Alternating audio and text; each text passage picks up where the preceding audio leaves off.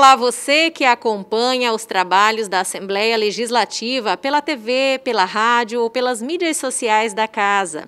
Teve reunião remota da Comissão de Infraestrutura e de Transportes aqui da casa. Os deputados deram parecer favorável a um projeto de lei proposto pelo deputado Wilson Santos, que dispõe sobre a isenção de pedágio para os profissionais de áreas essenciais como saúde e segurança enquanto durar o plano de contingenciamento do coronavírus. É um projeto que preocupa bastante essa questão da pandemia, de relevância nesse, nesse momento. Acho que tudo que a gente puder fazer para auxiliar e trazer economia aos nossos usuários, aos nossos servidores, principalmente da saúde, eu acho que teria sim uma grande relevância e uma grande importância.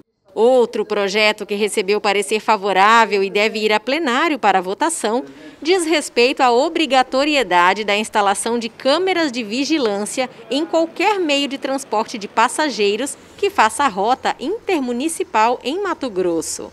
Os parlamentares também discutiram uma proposta que institui a criação de projetos para a construção de casas para famílias de baixa renda, uma forma de evitar moradias inseguras ou com problemas estruturais. Porque a maioria das pessoas às vezes começa a construir, começa a puxar, por falta de dinheiro, não tem dinheiro para pagar RT, não tem dinheiro para ir na prefeitura recolher. E muitas das vezes, nós já viu, fica uma casa até sem estrutura, porque as pessoas, por falta de auxílio do engenheiro, é dimensionar o tamanho da ferragem, da brita, é, a altura da viga de concreto, vão colocando às vezes até só sem, sem viga de concreto, só tijolo.